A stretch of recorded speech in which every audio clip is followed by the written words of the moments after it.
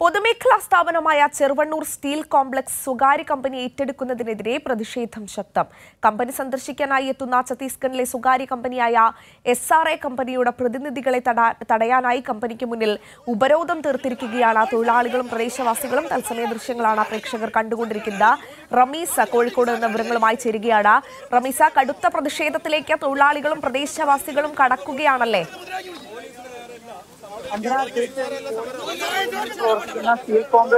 ഏറ്റെടുത്തിരിക്കുന്ന ഛത്തീസ്ഗഡിലെ സ്വകാര്യ കമ്പനി പ്രതിനിധികളെ കോമ്പൗണ്ടിനേക്ക് കോമ്പൗണ്ടിനകത്തേക്ക് പ്രവേശിപ്പിച്ചില്ല എന്ന ശക്തമായ നിലപാടിലാണ് നിലവിൽ തൊഴിലാളികളും പ്രദേശവാസികളും. ഇതിന്റെ ഭാഗമായാണ് ഇത്തരത്തിൽ ഒരു ശക്തമായ ഉപരോധം ഇവിടെ ഇവർ തീർത്തിരിക്കുന്നത്. ഇന്നലെയായിരുന്നു യഥാർത്ഥത്തിൽ പ്രതിനിധികൾ എത്തുമെന്ന് അറിയിച്ചിരുന്നത്. അതുകൊണ്ട് തന്നെ ഇന്നലെ മുതൽ ഈ ഒരു ഉപരോധം തീർത്തിട്ടുണ്ട് നിലവിൽ പ്രതിനിധികൾ കോമ്പൗണ്ടിന് അരികിൽ എത്തിയിട്ടില്ല. അതിനു മുൻപേ തന്നെ പോലീസുകാർ ഇവർക്ക് തൊഴിലാളികൾ കമ്പനി പ്രതിനിധികൾക്ക് ഹൈക്കോടതി നിർദ്ദേശ നിർദ്ദേശമനുസരിച്ച് സംരക്ഷണം ഒരുക്കണമെന്ന നിർദ്ദേശമുണ്ട്. അതിന് അതിന്റെ ഭാഗമായി പോലീസുകാർ നേരത്തെ എത്തി സമരക്കാരുമായി സംസാരിക്കുന്നു സംസാരത്തിനിടയിലാണ് തൊഴിലാളികളും പോലീസുകാരും തമ്മിൽ ഒരു ഏറ്റുമുട്ടുന്ന സ്ഥിതിയിലേക്ക് എത്തിയത്. നിലവിൽ മുന്നൂറ് കോടിയിലധികം ആസ്തി വരുന്ന ഏഹ്, ഈ കമ്പനി വെറും ഇരുപത്തഞ്ച് കോടി രൂപയ്ക്കാണ് സ്വകാര്യ കമ്പനിക്ക് കൈമാറുന്നതെന്നും എന്നും മാത്രമല്ല ഒരു പൊതുമേഖലാ സ്ഥാപനം ഒരു സ്വകാര്യ കമ്പനിക്ക് കൈമാറുന്നതിലുള്ള ഒരു ആശങ്കയും ക്രമക്കേടും ആരോപിച്ചാണ് ഇത്തരത്തിൽ തൊഴിലാളികൾ ഒരു ഉപരോധവും സമരവും ശക്തമായി തീർക്കാൻ ഇവിടെ ഒരുക്കിയിരിക്കുന്നത്. മനസ്സിലായി അതായത് ഈ ഒരു സ്ഥാപനം പൊതുമേഖലയിൽ നിന്ന് സ്വകാര്യ മേഖലയിലേക്ക് കൈമാറുന്നതിനെതിരെയാണ് ഈ ഒരു പ്രതിഷേധം നടക്കുന്നത്. ഇപ്പോൾ എന്താണ് ഛത്തീസ്ഗഡിൽ നിന്നുള്ള കമ്പനിയുടെ പ്രതിനിധികൾ എത്തിയിട്ടുണ്ടോ? എന്താണ് അവിടുത്തെ ഒരു സാഹചര്യം? എന്താണ്?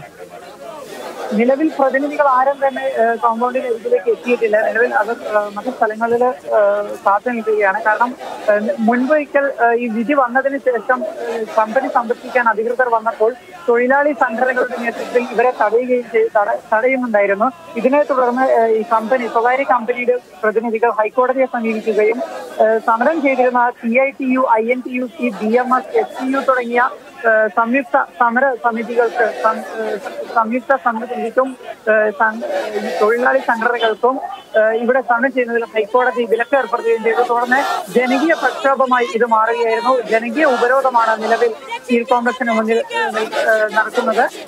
അതിന് ഈ കമ്പനി പ്രതിനിധികൾക്ക് കോമ്പൗണ്ടിനകത്ത് കയറാൻ അനുവാദം നൽകിയുകൊണ്ടുള്ള ഹൈക്കോടതി ഉത്തരവിന്റെ ഫലത്തിലാണ് അധികൃതർ അധികൃതർ നിലവിൽ കോമ്പൗണ്ടിലേക്ക് വരണമെന്ന് അറിയിച്ചിട്ടുള്ളത്. അതിന്റെ ഭാഗമായാണ് പോലീസും സ്ഥലത്തെത്തി ഇവർക്ക് സംരക്ഷണം ഒരുക്കുന്നതിന്റെ വക നേരത്തെ എത്തിയിട്ടുള്ളത്. നിലവിൽ പോലീസുകാരും സമരക്കാരും തമ്മിൽ സംസാരിക്കുകയാണ്. മറ്റൊരു റമീസ് ഈ ഒരു വലിയ സമരം തന്നെ നമുക്ക് ദൃശ്യങ്ങളിൽ നിന്ന് കാണുന്നത് മനസ്സിലാക്കാൻ സാധിക്കുന്നുണ്ട്. കാരണം പൊതുമേഖലാ സ്ഥാപനമാണ് ഈ ഒരു സ്ഥാപനത്തെ സ്വകാര്യവൽക്കരിക്കുന്നതിന് വേണ്ടിയുള്ള നീക്കത്തിനെതിരെ കടുത്ത സമരത്തിലേക്ക് പ്രതിഷേധത്തിലേക്ക് തന്നെ പ്രദേശവാസികളും തൊഴിലാളികളും സംയുക്തമായി കിടക്കുന്നതിന്റെ ദൃശ്യങ്ങളാണ് നമ്മൾ കണ്ടുകൊണ്ടിരിക്കുന്നത്. വലിയ പ്രതിഷേധം തന്നെ പ്രദേശത്ത് നടക്കുന്നു. പോലീസ് അവിടെ എത്തിയിട്ടുണ്ട്. റമീസ് സൂചിപ്പിച്ചതുപോലെ തന്നെ ഹൈക്കോടതിയുടെ ഉത്തരവുണ്ട്. ആ ഉത്തരവിന്റെ പശ്ചാത്തലത്തിലായതുകൊണ്ടാണ് ഇപ്പോൾ പോലീസ് അടക്കം അവിടെ എത്തി. ഈ ഒരു സമരത്തെ പ്രതിരോധിക്കുന്നതിന് വേണ്ടി നിൽക്കുന്നത്. എന്താണ് ഈ ഒരു സമരം നടത്തുന്ന തൊഴിലാളികളും അതോടൊപ്പം തന്നെ പ്രദേശവാസികളും പ്രധാനമായി മുന്നോട്ട് വയ്ക്കുന്നത് എന്താണ്? എന്താണ് അവർ പറയുന്നത് ആവശ്യം സ- സ്ഥാപനം സ്വകാര്യ മേഖലയ്ക്ക് വിട്ടു നൽകില്ല. ഇത് കേരളത്തിന്റെ സ്വത്താണ് പൊതുമേഖലാ സ്ഥാപനമാണ് ഇവിടുത്തെ തൊഴിലാളികളുടെ പ്രശ്നമാണെന്നതാണ്. ഇത് കേവലമായ ഒരു തുച്ഛമായ തുകയ്ക്ക് ഇരുപത്തഞ്ച് കോടി രൂപ വിലക്കാണ് ഛത്തീസ്ഗഡിലെ സ്വകാര്യ കമ്പനിക്ക് കൈമാറുന്നത്. ഇതും ഒരു ആശങ്ക ഇവർ പ്രകടിപ്പിച്ചിട്ടുണ്ട്. മുന്നൂറ് കോടിയിലധികം ആസ്തി വരുന്ന ഒരു സ്ഥാപനം ഇരുപത്തഞ്ച് കോടി ഇരുപത്തഞ്ച് കോടിക്ക് ഒരു പൊതുമേഖലാ സ്ഥാപനം സ്വകാര്യ മേഖലയ്ക്ക് കൈമാറുന്നത്. അതും കേരള സർക്കാർ സ്ഥാപനം ഏറ്റെടുക്കാമെന്ന് അറിയിച്ചതിന് പിന്നാലെയാണ് അറിയിച്ച് കുറച്ച് ദിവസങ്ങൾക്ക് ശേഷമാണ് ഇത്തരത്തിലൊരു വിചിത്രമായ ഒരു വിധി വന്നിരിക്കുന്നത്.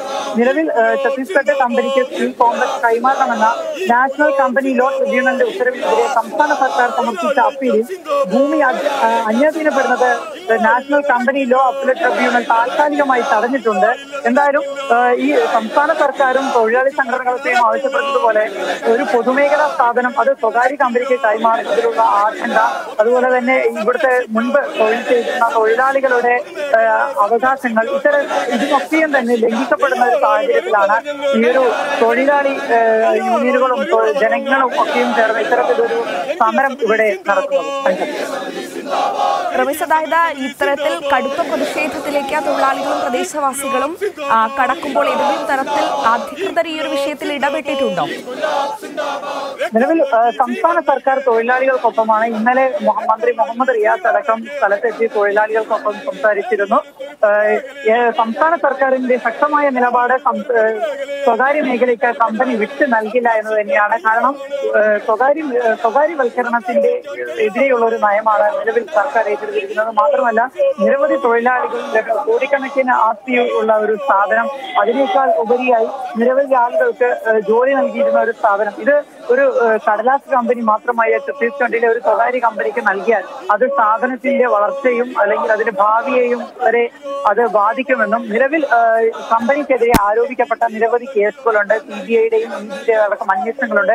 ഇതൊക്കെ തന്നെ വഴിമുട്ടി പോവുകയും അഴിമതി അഴിമതി ആ- ഒരു കൈമാറ്റത്തിലൂടെ മാറുകയും ചെയ്യുമെന്ന ഒരു ആശങ്ക ഉണ്ട്. അപ്പോൾ ഇതിനെതിരെയാണ് സംസ്ഥാന സർക്കാർ അടക്കം കടുത്ത നിലപാടെടുത്തുകൊണ്ട് ഈ കമ്പനി സ്വകാര്യ മേഖലയ്ക്ക് വിട്ടു നൽകില്ല എന്ന രീതിയിലാണ് നിലവിൽ സംസ്ഥാന സർക്കാർ തന്നെ ഈ ഒരു വിഷയത്തിൽ ഇടപെട്ടത്.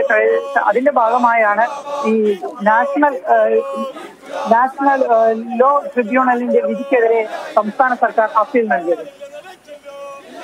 റമീസ് അതായത് ഈ ഒരു പ്രധാനമായും മറ്റൊരു സംശയം എന്ന രീതിയിൽ ഉന്നയിക്കുകയാണ്. അതായത് ഈ ഒരു ചെറുവണ്ണൂർ സ്റ്റീൽ കോംപ്ലക്സ് പൊതുമേഖലാ സ്ഥാപനമായി മുന്നോട്ട് പോകുന്ന കമ്പനിയാണ് തൊഴിലാളികൾ. കൃത്യമായ രീതിയിൽ തന്നെ മുന്നോട്ട് പോകുന്ന ഒരു കമ്പനി. ഇതിപ്പോൾ പൊതുമേഖലാ സ്ഥാപനത്തിൽ നിന്ന് സ്വകാര്യവൽക്കരിക്കേണ്ടതിന്റെ ആവശ്യകത എന്താണ്? അഞ്ചര നമുക്ക് അറിയാവുന്നതുപോലെ അറിയാവുന്നതുപോലെ തന്നെ കമ്പനിയിലെ ഏഹ്, ഉണ്ടായ ഒരു കാനറ ബാങ്കിൽ നിന്നും എടുത്ത ഒരു ലോണിന്റെ ഭാഗമായി വലിയൊരു കടബാധ്യത കമ്പനിക്ക് ഉണ്ടാകുകയും ഇതിന്റെ ഭാഗമായാണ് കമ്പനി രണ്ടായിരത്തി പതിനാറിൽ അടച്ചുപൂട്ടുന്ന ഒരു സ്ഥിതി ഉണ്ടാകുകയും ചെയ്തത്. ഇതിനെ തുടർന്നാണ് വർഷങ്ങളായി കമ്പനി ശരി അടച്ചുപൂട്ടുകയും എന്തായാലും സ്റ്റീൽ കോഴിക്കോട് ചെറുവണ്ണൂരിലെ സ്റ്റീൽ കോംപ്ലക്സിൽ തൊഴിലാളികളുടെ പ്രതിഷേധം തുടരുന്നു.